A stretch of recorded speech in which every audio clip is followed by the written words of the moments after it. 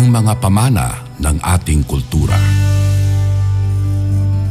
Mula magulang sa anak hanggang sa susunod pang henerasyon.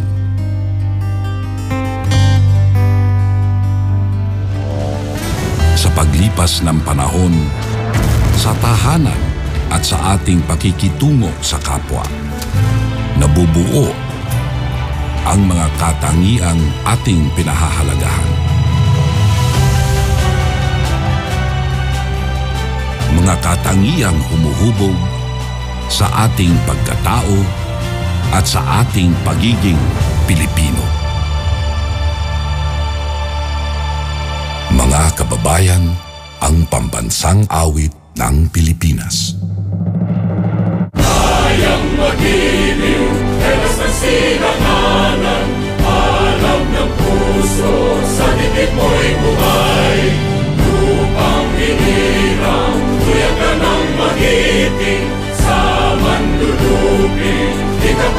sisigil sa nananagtutok sa simoy at sa langit mong pagkaw ay hinatang tudla kawin sa paglayang minamahal ang isang lang mataw at mo'y tagumpay na nagtiinig ang pituwin at araw niya kailan pa may di matibig